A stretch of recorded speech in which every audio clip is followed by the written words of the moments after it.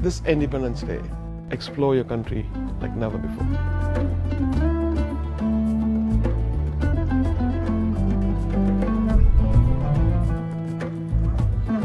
A blend of tradition with modern sounds. That is harmony.